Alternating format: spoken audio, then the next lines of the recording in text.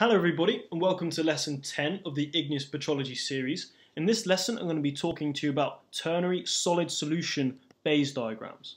So if you cast your mind back, solid solution essentially refers to one mineral that's composition changes with the evolving composition of the liquid, such as the example of plagioclase feldspar, which evolves from a calcium-rich end member of anorthite to a sodium-rich end member of albite.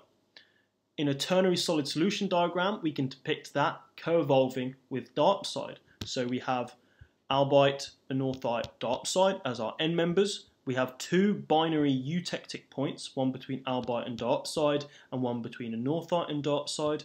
We don't have a binary eutectic between the solid solution phases, anorthite and albite.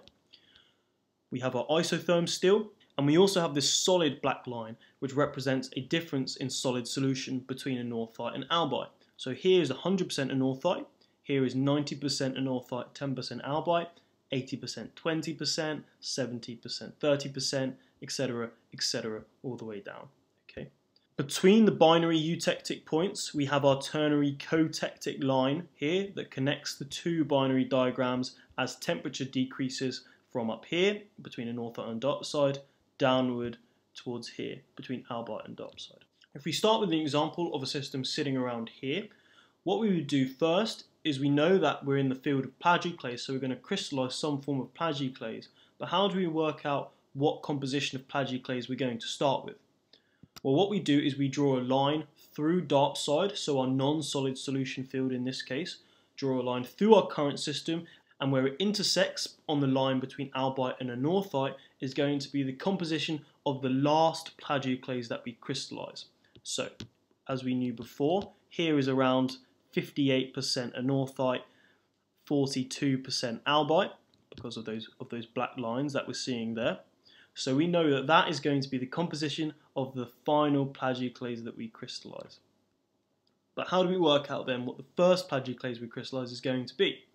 But what we do is we draw that black line, blue in this case, of where as it intersects the ternary cotectic line, where our black line intersects the line between albite and anorthite. And that's going to tell us that the composition of the first plagioclase to crystallize is going to be around 85% anorthite, 15% albite. Now how the system evolves is, is quite difficult to depict in one slide. I'm going to give it a go. So what we would do at the start draw a line between our first plagioclase and our current system. And then our green current system here is going to evolve down temperature on this line. As it does this, our plagioclase is going to evolve compositionally with the liquid. So if you picture all of these components moving at once, the system will have this sort of arcuate pattern. It's going to evolve sort of upward down there if you follow the cursor. Yeah, evolving with this and this red line as well. So if you watch the two systems, it's going to be something like this.